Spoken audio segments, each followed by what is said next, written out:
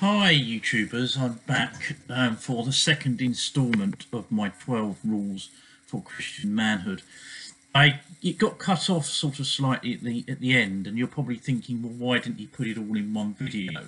That is a very good question but I got called away so I couldn't do that um, and I didn't really want to record the whole first video again.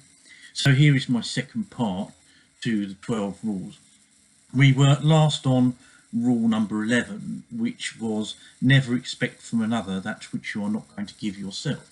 This is uh, very important because if you're about to go into a relationship with somebody and you are someone who sits at home, chuffs dairy milk, and doesn't do the gym, doesn't do anything, doesn't go out or anything, you cannot then expect that from the person you want to date.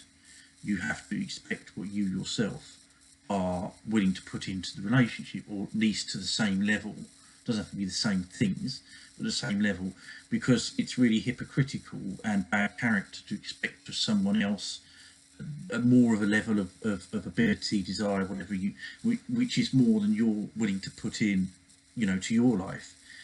Because interesting people look for interesting people.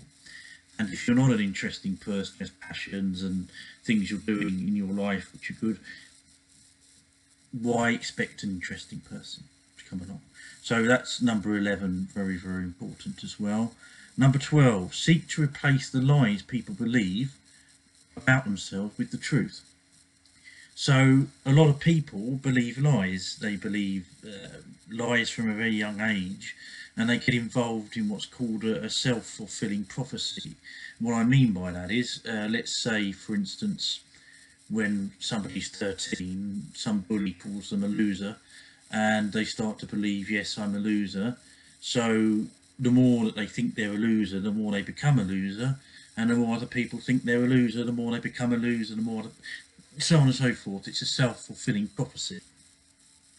But we need to be people who say, no, actually, we, I see you after how God sees you. You know, and so often God calls what isn't to become what is. What I mean, mean by that is God doesn't believe anybody is a loser, particularly not those who are children of his.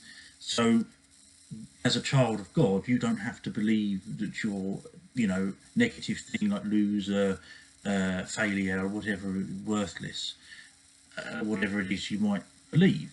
So as a, as a Christian man, if you are somebody who doesn't believe these things and believes the right things about himself, teach others also to believe the right things about themselves.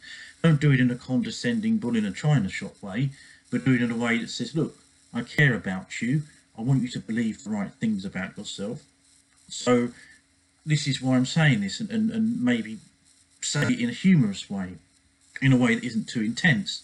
It, try to get the message across that they are not this self-fulfilling prophecy that they are living. They're not the bad words they say about uh, themselves. So this is really, really important. So anyway, that is my 12 rules for Christian manhood. Thank you for watching.